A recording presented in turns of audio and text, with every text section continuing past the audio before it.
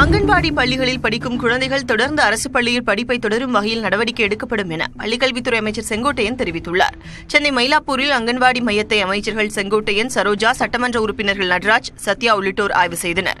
பின்னர் செய்தியாளர்களிடம் பேசிய செங்கோட்டையன் அங்கன்வாடி மாணவர்களை தொடர்ந்து அரசு பள்ளியில் படிக்க வைக்க முதலமைச்சருடன் பேசி நடவடிக்கை எடுக்கப்படும் என்றார். இந்த குழந்தைகள் நான்கு வயது முடிந்தவுடனேயே ஐந்தாவது வயதில் தனியார் இருக்கின்ற கல்வி நிறுவனத்திற்கு சென்று மெட்ரிகுலேஷன் பள்ளி இது போன்ற நிறுவனங்களுக்கு சென்று கொண்டிருக்கிற நிலையை மாற்ற வேண்டும் என்ற முறையில் இந்த அரசு முதன் முதலே இதை பார்வையிட்டு இருக்கிறோம் முதலோடு பேசி அதற்கு என்ன முடிவுகளை நாங்கள் மேற்கொள்ளலாம் என்பதை இரு அமைச்சரும் கலந்து பேசியதற்கு பிறகு முதலமைச்சரோடு கலந்து பேசி ஒரு நல்ல முடிவினை மேற்கொள்வதற்கு ஏற்பாடு செய்வதற்காகத்தான் இதை பார்வையிட்டோம். தமிழகம் முழுவதும் பதிமூன்று கடலோர மாவட்டங்களில் இரண்டாவது நாளாக ஆபரேஷன் சாகர் கவச் பாதுகாப்பு ஒத்திகை நிகழ்ச்சி நடைபெற்று வருகிறது. பயங்கரவாதிகளின் கடல் வழி ஊடுருவலை தடுக்கும் நோக்கில் ஆண்டுதோறும் கடலோர காவல்படை மற்றும் உள்ளூர் போலீசாரால் ஆபரேஷன் சாகர் கவச் ஒத்திகை நடத்தப்படுவது வழக்கம். நேற்று தொடங்கிய ஒத்திகை நிகழ்ச்சியில் கடற்படை கடலோர காவல்படை கடலோர பாதுகாப்பு குழுமம் ஆகியோருடன் இணைந்து தமிழக போலீசாரும் கலந்து கொண்டுள்ளனர். பாதுகாப்பு ஒத்திகை நிகழ்ச்சியின் போது பயங்கரவாதிகள் போல வேடமிட்டு வருபவர்களை பாதுகாப்பு பணியில் இருந்தவர்கள் பிடித்தனர். நேற்றைய தினம் மட்டும் சென்னையில் பத்தொன்பது பேர் பிடிபட்டுள்ளனர். கர்நாடக மாநில தேர்தலை மனதில் வைத்து காவிரி மேலாண்மை வாரியம் அமைப்பதை மத்திய அரசு காலம் தாழ்த்தி வருவதாக சமத்துவ மக்கள் கட்சித் தலைவர் சரத்குமார் குற்றம் சாட்டியுள்ளார். நாமக்கல்லில் செய்தியாளர்களிடம் பேசிய அவர் மத்தியில் எந்த கட்சி ஆட்சிக்கு வந்தாலும் காவிரி மேலாண்மை வாரியத்திற்காக மாறி மாறி போராட வேண்டியிருப்பதாக கூறினார்.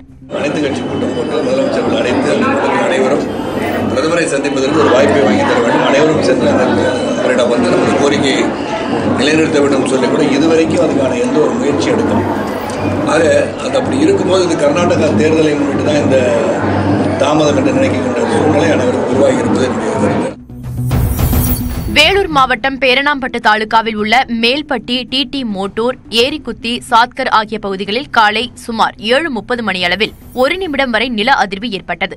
பொதுமக்கள் வீடுகளை விட்டு வெளியே ஓடி வந்தனர். தகவல் அறிந்து பேரணாம்பட் வட்டாட்சியர் மகாலிங்கம் தலைமையிலான வருவாய்த்துறையினர் சம்பவ இடங்களில் ஆய்வு செய்து விசாரணை மேற்கொண்டு வருகின்றனர். இதனால் பொதுமக்களுக்கு சேதம் ஏதும் இல்லை என்றாலும் பொதுமக்கள் அச்சத்தில் உள்ளனர். சென்னை விமான நிலையத்திற்கு வெடிகுண்டு மிரட்டல் விடுத்த நபரை திருச்சியில் காவல்துறையினர் கைது செய்தனர். சென்னை காவல்துறையின் கட்டுப்பாட்டு அறைக்கு இன்று அதிகாலையில் தொலைபேசியில் பேசிய நபர் விமான நிலையத்தில் குண்டு வெடிக்கும் என்று கூறிவிட்டு இணைப்பை துண்டித்து விட்டார். இதையடுத்து சென்னை விமான நிலையத்தில் வெடிகுண்டு நிபுணர்கள் சோதனை நடத்தி வருகின்றனர். சென்னை மட்டுமல்லாமல் திருச்சி கோவை மதுரை தூத்துக்குடி விமான நிலையங்களுக்கும் பாதுகாப்பு அதிகரிக்கப்பட்டுள்ளது.